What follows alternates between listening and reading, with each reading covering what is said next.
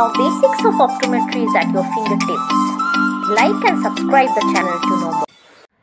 hello all so uh, in a synaptophore what we are going to do first we are going to measure the objective and subjective angle of deviation with the help of the simultaneous macular perception slides which are shown in my first video on synaptophore right so then next what we are going to do we are how we are going to measure that uh, objective and subjective angle of deviation?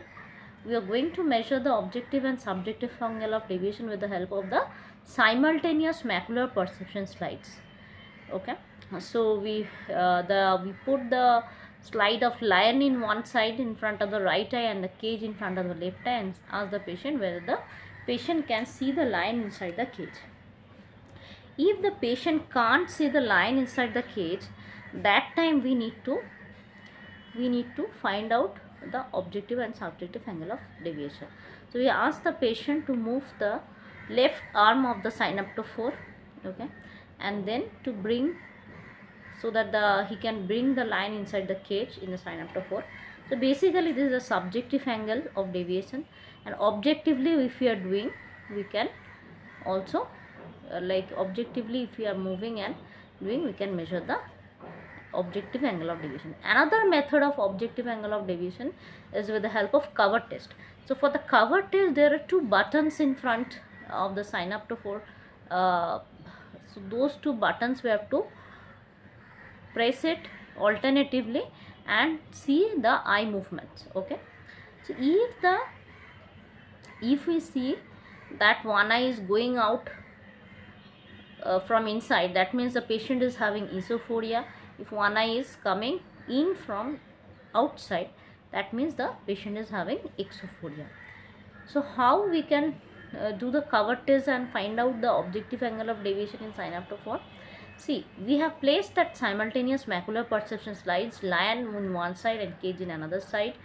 Patient is uh, ask and asking i'll ask the patient whether he can see the line inside the cage or not. If he can't find the lines inside the cage it is slightly uh, outside the cage okay? Then we can perform a cover test. Now while performing a cover test we will see that alternate cover test we are performing we can see that there is due to heterophoria there will be movement of the eyes either from inside to outside or from outside to inside. So what we can do we can ourselves rotate one the arm of the synaptophore one arm of the synaptophore will keep it fixed.